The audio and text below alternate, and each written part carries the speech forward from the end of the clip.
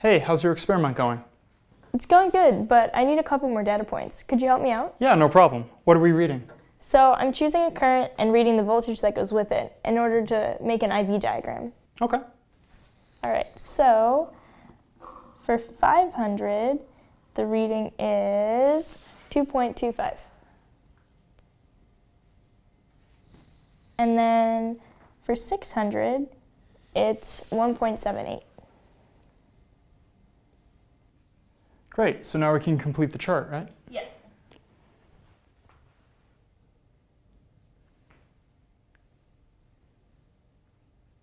Perfect.